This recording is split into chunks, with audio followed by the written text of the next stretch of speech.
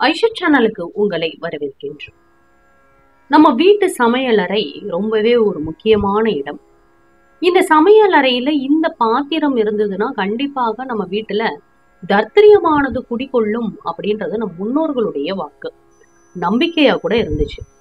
என்ன பாத்திரம் நம் சமையல் அறையில் இருக்கக்கூடாது என்பதை பற்றி தெரிஞ்சுக்கலாம். ஐஷா சேனலை சப்ஸ்கிரைப் பண்ணிக்கோங்க. பக்கத்துல இருக்கிற பெல்லைக்கானையும் ப்ரெஸ் பண்ணிக்கோங்க.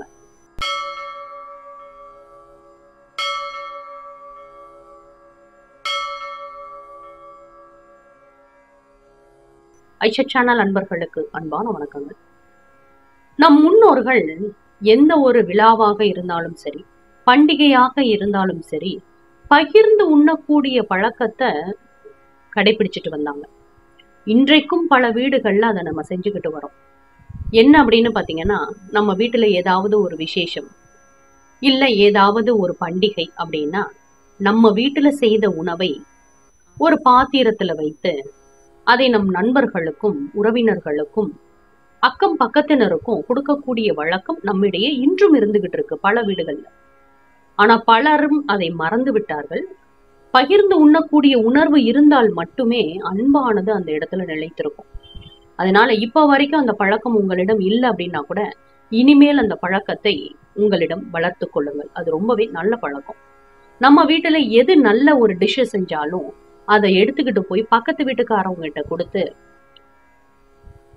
தாங்கள் எப்படி அதை சாப்பிட்டு மகிழ்ந்தோமோ அதே போல அவர்களும் மகிழ வேண்டும் என்பதற்காக அதை அக்கம் பக்கத்தினருக்கு கொடுப்போம். இப்படியாக நம்முடைய பாத்திரமானது மற்றவருடைய வீட்டிற்கு போய் அது அங்கேயே இருந்துருச்சுன்னா அது தர்த்திரியத்தை அவர்களுக்கு உண்டாக்கும். அதே போல நீங்க கொடுப்பது போலவே மற்றவர்களும் உங்களிடம் வந்து கொடுப்பார்கள். அவர்கள் வீட்டில் பண்டிகை விழாக்கள் இருந்ததுன்னா அவர்கள் வீட்டில் என்ன உணவுகளை செய்கின்றார்களோ அதை அவர்களுடைய பாத்திரத்துல வைத்து கொண்டு வந்து நம்ம வீட்டுல கொடுக்கக்கூடிய இந்த பழக்கமானது இருந்துகிட்டு இருக்கு இப்படியாக இந்த பாத்திரத்தை வாங்கிய உடனே நம்ம கொடுக்கவே மாட்டோம். அது நம்மிடையே இருக்கக்கூடிய ஒரு வழக்கம். அந்த பாத்திரத்தை அப்படியே வாங்கி வச்சுட்டு அந்த உணவுப் பொருளை சாப்பிட்டுட்டு அந்த பாத்திரத்தை கழுவி நம்மளுடைய ஷெல்ஃபில் அடுக்கி வச்சிருவோம். இது மிகவும் தவறான ஒரு செயல். மற்றவர்களுடைய பாத்திரம் நம்ம வீட்டில் இருக்கு அப்படின்னு சொன்னா அது நமக்கும் தர்த்திரியத்தை உண்டாக்கும்.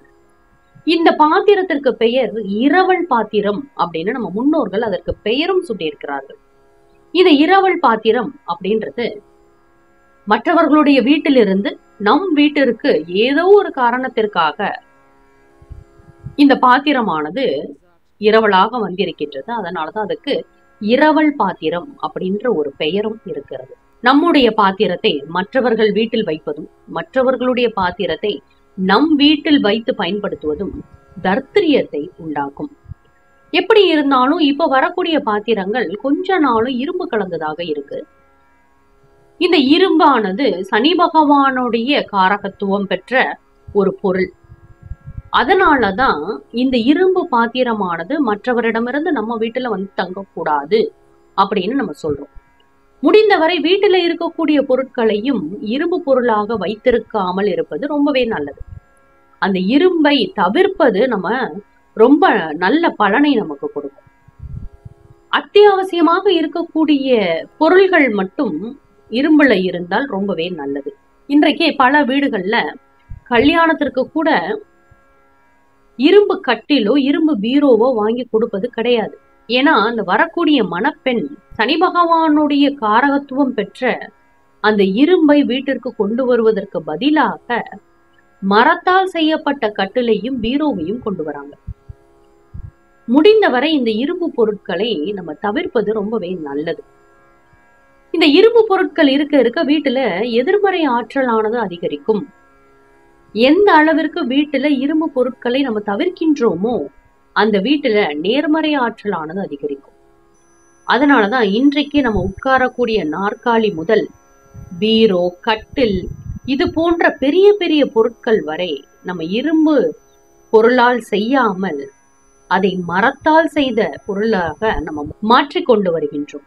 ஒருவர் வீட்டிலிருந்து ஒரு உணவுப் பொருளானது ஒரு பாத்திரத்தின் மூலம் நம்ம வீட்டிற்கு வருது அப்படின்னா உடனே அந்த உணவுப் பொருளை நம் வீட்டு பாத்திரத்திற்கு மாற்றிவிடுங்கள்.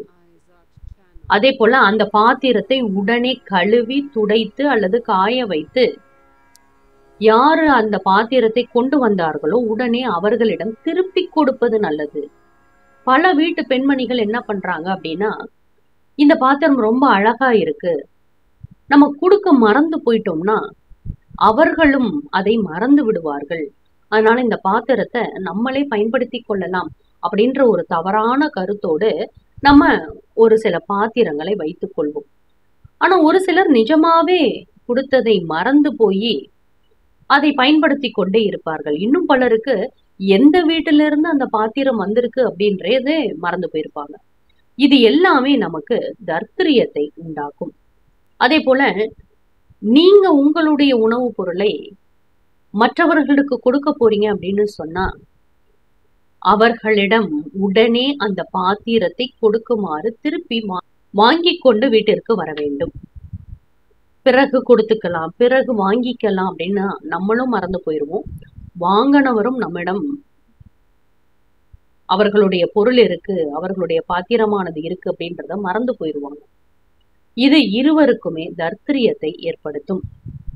அதே போல நம்ம வீட்டுல செய்த பிரசாதத்தை கூட மற்றவர்களுக்கு கொடுக்கும் பொழுது அதை பாத்திரத்தில் வைத்து கொடுக்காமல் வாழை இலையில் வைத்தோ அல்லது தொன்னையில் வைத்தோ கொடுத்தார்கள் நம் முன்னோர்கள். எதற்காக அப்படின்னு சொல்லும் பொழுது ஒரு வீட்டிற்கு பிரசாதத்தை ஒரு பாத்திரத்துல நீங்க வச்சு கொடுக்குறீங்கன்னா அந்த பிரசாதத்தை எடுத்துக்கொண்டு அந்த பாத்திரத்தை கழுவி கொடுக்க கூடாது என்பது ஒரு சாஸ்திர நியதி. எனவே இந்த பிரசாதத்தை வாங்கி கொண்டு தங்களுடைய பாத்திரத்தில் உடனே மாற்றி இந்த பாத்திரத்தை உரியவர்களிடம் உடனே திருப்பி கொடுப்பதுதான் சரியான ஒரு முறை. அதே போல கொடுத்த பாத்திரத்தை வெகு நாட்கள் கழித்து நம்ம மறுபடியும் போய் கேட்கும் பொழுது அந்த இடத்துல ஒரு மன சஞ்சலமானது ஏற்படும். அதாவது நம் பாத்திரம் யாரிடம் இருக்கின்றதோ அவர் ஐயோ நம்ம கொடுக்கலையே மறந்துட்டோமே இதனால அவர்கள் நம்மை தவறாக நினைத்து விடுவார்களோ என்ற பய உணர்வு அவர்களிடம் இருக்கும். ஒரு சங்கடமானது அந்த இடத்துல ஏற்படும். நமக்கு என்ன தோணும் அப்படின்னா இவ்வளவு நாள் நம்மளுடைய பாத்திரத்தை வைத்து பயன்படுத்திக்கிட்டு இருக்கிறாங்களே இத மறந்துட்டாங்களா? இல்ல அவங்க அவங்களே வச்சுக்கணும்னு நினைக்கிறாங்களா? அப்படின்ற மன சங்கடம் நம்மிடமும் ஏற்படும். அதனால எப்பொழுதுமே இந்த உணவுகளை பரிமாறிக்கொள்றீங்க அப்படின்னு சொன்னா நிச்சயமாக எச்சரிக்கையாக இருக்க வேண்டும். நம்மளுடைய பாத்திரம் மற்றவரிடமும் இருக்க வேண்டாம். மற்றவர்களுடைய பாத்திரம் நம்மிடமும் இருக்க வேண்டாம். அவரவர் பாத்திரங்களை அவரவர் பயன்படுத்தினாலே ரொம்பவே நல்லது. குடும்பம் சுபிக்ஷமாக இருக்கும். அப்படி அல்லாமல் நம்முடைய பாத்திரம் மற்றவருடைய சமையல் அறையில் இருந்தாலோ அல்லது மற்றவருடைய பாத்திரம் நம் சமையல் அறையில் இருந்தாலோ அது நமக்கு தர்த்தரியத்தை ஏற்படுத்துவதோடு எப்பொழுதும் ஏதாவது ஒரு பிரச்சனையை ஏற்படுத்தி கொண்டே தான் இருக்கும். எதிர்மறை ஆற்றலானது அந்த வீட்டுல இருந்துகிட்டே தான் இருக்கும். நேர்மறை ஆற்றல் என்பது அந்த வீட்டுல துளி அளவு கூட இருக்காது. அதனால வீட்டுல இருக்கக்கூடிய பெண்மணிகள் இந்த சின்ன சின்ன விஷயங்கள்ல கவனம் செலுத்தினாலே போதுமானது. நிச்சயமாக வாழ்வு சுபிக்ஷமாக இருக்கும். மேலும் இது போன்ற தகவல் அறிய ஐஷத் சேனலை சப்ஸ்கிரைப் பண்ணுங்க ஷேர் பண்ணுங்க. உங்களுடைய கருத்துக்களை எங்களுக்கு பதிவு பண்ணுங்க. நன்றி வணக்கம்.